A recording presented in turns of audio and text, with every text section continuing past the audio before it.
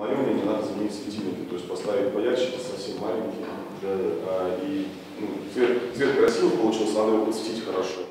Жители дома на Завхозной 4 и сотрудники управляющей компании подводят предварительный итог работ по преображению подъезда. Приятная глазу краска освежила все 17 этажей в доме. На лестничных площадках чистота и порядок. Поводом к ремонту послужил пожар, который случился в доме в декабре прошлого года. Вот так выглядел 14 этаж, где загорелась забитая мусором квартира. От пожара теперь здесь не осталось и следа. Последние штрихи – замена створок электрощитовой.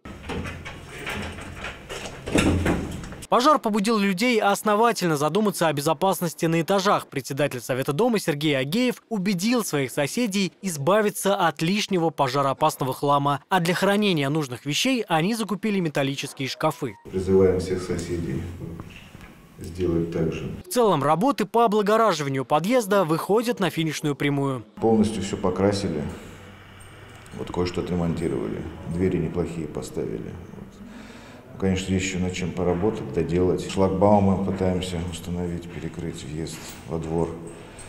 Вот такие пока планы. Жители сами выбирали а, цвет стен и, соответственно, что как бы приятно, когда подъезд стал улучшаться, жители внесли свои корректировки и поставили еще камеры видеонаблюдения, то есть сделали свой подъезд еще и безопасным внутри.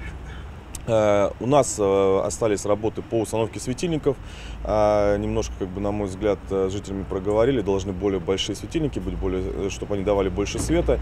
Соответственно, будет заменено еще на входной двери окно для того, чтобы было светло. Заменят в подъезде и почтовые ящики. Управляющая компания установит антивандальные ячейки, куда не будет попадать рекламная макулатура, а доступ к ним дадут только сотрудникам почты.